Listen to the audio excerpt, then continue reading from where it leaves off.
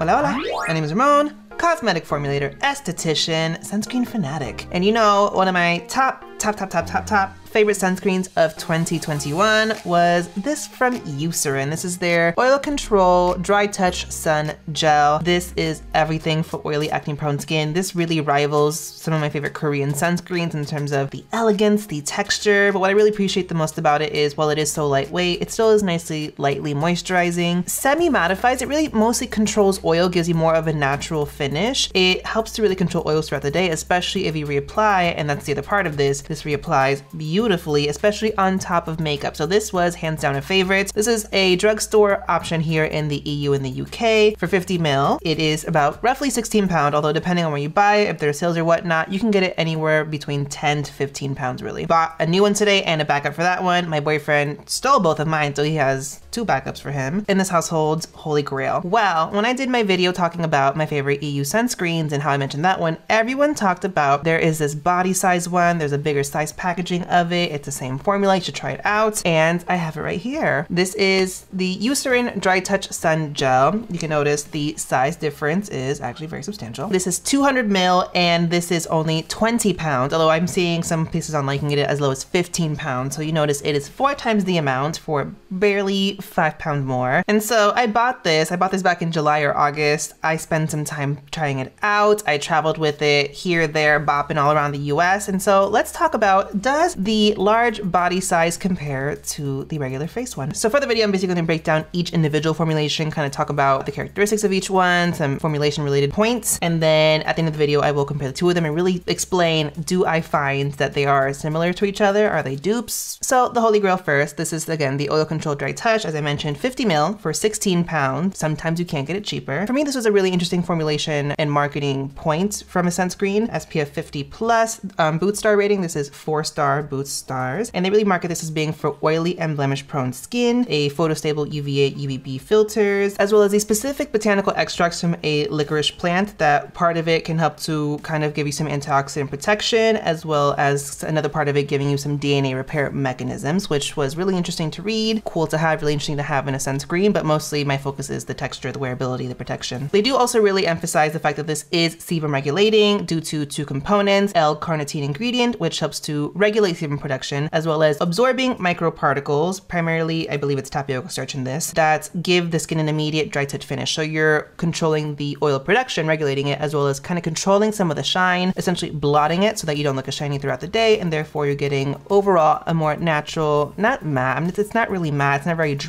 looking, but very natural looking finish throughout the day, even for really oily skin individuals. And they say it lasts up to eight hours. I do reapply this, so for me, it's more like I'm just compounding that effect throughout the day. It is unscented. It does have alcohol, but it is unscented. There's no fragrance in here, and it has an ultra light, non-greasy texture. Can vouch for that. UV filters for this, you have homosalates, avobenzone, octisalate, octocrylene, and ensulizole. So you're getting essentially bumps in the entire part of the spectrum. Avobenzones, UVA1, UVA2, octocrylene's UVB, UVA2, and helping to really stabilize that avobenzone. Pretty much everything else is UVB. And aside from that, the formulation is pretty basic. Glycerin's another standout. It's just a nice humectant, obviously, and I think that kind of gives a little bit more of the texture of it being really nice, lightweight, elegant gel. And then you do have the licorice extracts that give the antioxidant and DNA repair benefits from the formulation. Worth noting, I get a lot of people on all my different social media channels talking about, I don't know how you like the Eucerin so much, it does pale. I don't know why that happens to individuals. I have never had that happen to me. Even with substantially varying skincare underneath it, I've never had it peel or do anything weird texture wise. It always comes down to an incompatibility between the skincare ingredients underneath it and obviously the ones that are in it. Switch up your moisturizer, switch up your serums. Generally, sometimes it's usually going to be a serum situation. Again, this is adequately moisturizing to me as an oily skin individual. So maybe play around with not putting moisturizer underneath. But now let's get on to this one. This is again, the Eucerin Sensitive Protect, worth noting, Dry Touch Sun Gel Cream Ultra Light. This is 200 mil for anywhere between 15 to 20 pound, depending on where you get it. For the marketing on this one, an ultra light, non-greasy sunscreen for the body. This is technically a body sunscreen, that's why it's so much. It's clinically and dermatologically proven to be suitable for all skin types, including sensitive, oily, and acne-prone skin. Very similar to the other Eucerin one. This does also offer high UV protection, SPF 50 plus. It does have the UVA star circled on it. There's no Boots star rating on this for UVA protection though, so I can't tell you how many stars that is. If you can find something, comment that down below and I will try to pin it. Without it having that Boots star system, I can't exactly tell you based on how many stars it has, realistically where this SPF lies. It is 50 plus. Is it close to SPF 100 like the Riemann P20 is? I don't know, but it definitely hits that 50. It exceeds that 50, and it does have adequate UVA protection, and that fundamentally for me is enough. I have realistic expectations with my sunscreen. I also take my other sun protection measures when needed. This one does also mirror some of the other claims that the other Eucerin one does make as well, such as the DNA repair mechanisms without licorice extract. This does also claim oil control technology, but this doesn't have the L-carnitine ingredient in there. It just solely relies on the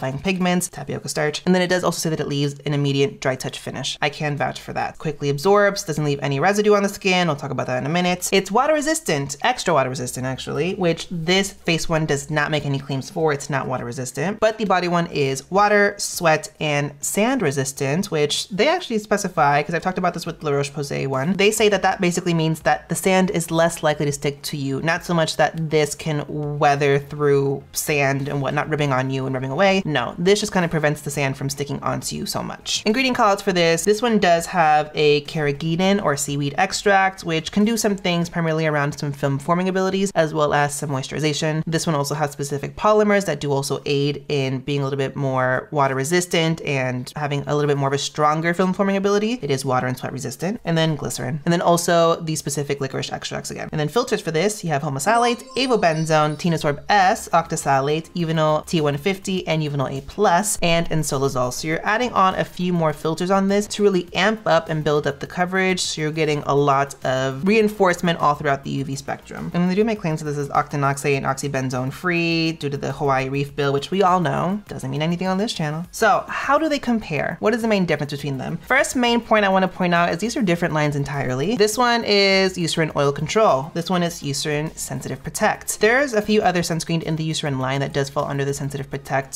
product line, but that's the first thing to note. Also the fact that these are technically different products altogether. This is marketed as a body sunscreen. This is specifically intended for face. Can you use this one on your face? 100% yes. But basically what that comes down to is the overall elegance of the formulation. This one, very lightweight, ultra gel texture. This one isn't so gel-like. Is it lightweight? Yes. Does it sink into the skin very quickly? Yes. But even looking at the formulation, there's a lot of things that just aren't the same and aren't very parallel. This one features primarily just more rich lipids and more emollients, some waxes and whatnot that make this have a little bit of a more rich moisturizing texture. But it's not by any means like really greasy. So the claims that they make that it's not greasy is very accurate and I can attest to that. Also worth noting, fragrance free does have fragrance. This one also has alcohol in it as well, but this one does have fragrance. What what I will note, this one doesn't have much of a smell to it in general. You can't really even tell there's alcohol in it. There's no alcohol smell. It just has that elegance that comes along with having that, which we all know here on this channel. That alcohol is primarily a solvent just because those UV filters are all oil soluble ingredients. This one has the alcohol, also has the fragrance in it. I wouldn't be concerned about that for either one, honestly, but especially for this one, just because this one also compensates for that with the added humectant, but mainly all those moisturizing ingredients. You really feel this is a nicely moisturizing, skin nourishing formulation. You really could not tell this has alcohol in it aside from the fact that it is just overall for body sunscreen a very elegant texture and formulation. I would rather have that kind of light perfume as opposed to a very pronounced sunscreen smell. As a body sunscreen, especially one that offers such high protection,